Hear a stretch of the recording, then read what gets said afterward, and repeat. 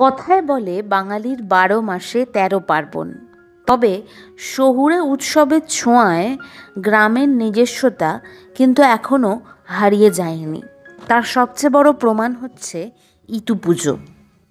অষ্টচাল, অষ্টদূর্বা কলসপত্র ধরে ইতু কথা এক মনে শুনো প্রাণ ভরে। ইতু দেন বর, ধনে জনে বারুক ঘর এই হলো ইতু পুজোর মন্ত্র। ইতু পুজো বাংলার একটা লোক উৎসব। মূলত শস্য বৃদ্ধির কামনার প্রতি অঘ্রাণ মাসের রবিবার এই পুজো করা হয়। তবে ইদানিংকালে বাংলার গ্রাম্য দেবদেবীরা যেমন মনসা, ইতু, ভাদু, টুসু, শীতলা এরা আর তেমনভাবে পূজিত হন না। গণেশ পুজো, বিশ্বকর্মা পুজো ইত্যাদি পুজোগুলো সেই জৌলুস অনেকটা কেড়ে নিয়েছে। প্রযুক্তির দৌলতে হারিয়ে যেতে বসেছে বাংলার ব্রত কথা।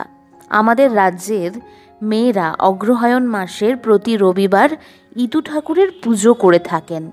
ইতু পুজোর নিয়ম প্রসঙ্গে বলা হয়েছে, কার্তিক মাসের সংক্রান্তি থেকে অগ্রহায়ণ মাসের সংক্রান্তি পর্যন্ত পুজো করা হয়। আজকেই কিন্তু সেই কার্তিক মাসের সংক্রান্তি এবং সেই উপলক্ষেই আজকের পর্ব ইতু পুজো নিয়ে। ইতু শব্দটা মিতু অর্থাৎ মিত্র থেকে এসেছে। মিত্র শব্দের অর্থ সূর্য। অগ্রহায়ণ মাসে সূর্য বৃশ্চিক রাশিতে অবস্থান করে এবং এই অবস্থানে সূর্যের নাম হয় মিত্র। সেখান থেকেই ঘরে ঘরে ইতু পুজোর সূত্রপাত। সুতরাং ইতু পুজো মানে সূর্যদেবের পূজা। বাংলার মেয়েরা ইতুকে শস্যের দেবী হিসেবেই পূজা করে থাকে। একটা কথা ভেবে দেখবেন, সূর্যদেবের কৃপা ছাড়া কিন্তু ফসলও ফলবে না, কারণ রৌদ্রেরও যথেষ্ট প্রয়োজনীয়তা রয়েছে। সুন্দর ফসল ফলাতে গেলে রোদ্দুর লাগে। ইতুর ঘটের গায়ে পুঁতুলি আঁকা এবং ভেতরে দেওয়া হয় শস্যদানা ও তৃণগুচ্ছ। খড়ের বীরের ওপরেই ইতুর সরাকে বসানো হয়।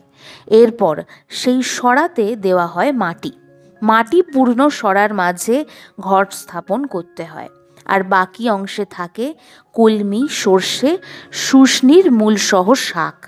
এছাড়া ধানের বীজ, মানকচুর মূল লাগানো হয়ে থাকে। আর ছোলা, মটর, মুগ, তিল জব সহ আট রকমের শস্যের বীজও ছড়ানো হয়ে থাকে। বাঙালি মেয়েরা নিজেরাই এই পুজো করে থাকেন। সেদিন নতুন গুড় ও চাল দুধ দিয়ে পরমান্ন তৈরি করে নিবেদন করা হয়। প্রতি রবিবার ফল, মিষ্টি, ধান, খই দিয়েই ইতুর পুজো করা হয়। নবান্ন থেকে পিঠে পুলি সবই এই সময়কালে বানানো হয়ে থাকে। এখনও গ্রামে সবাই মিলে ভাগ করে খান সেই প্রসাদ। কারোর বাড়িতে ইতু পুজো হলে সেই প্রসাদ সকলকে উৎসর্গ করে দিয়ে খাওয়াই হচ্ছে নিয়ম। এই অগ্রহায়ণ মাসেই হয়ে থাকে নবান্ন উৎসব। ঘরে ঘরে আসে নতুন ধান। বাংলার পাড়া গ্রাম এখনও একজোট হয়ে এই নবান্ন উৎসবে মেতে ওঠেন। এই নবান্ন উৎসবের সাথে অঙ্গাঙ্গিভাবে জড়িয়ে রয়েছে ইতু পুজো। নবান্নের স্বাদ পেতে এখনও বিদেশ বিভুই থেকে অনেকে বাড়িতে ফেরেন। হোলি, ক্রিসমাস, দিওয়ালির ভিড়ে এখনও এই উৎসব গ্রাম বাংলার বুক থেকে হারিয়ে যায়নি। বন্ধুরা, তাহলে ইতু পূজার উপকরণ হিসেবে আমরা এগুলি বলতে পারি।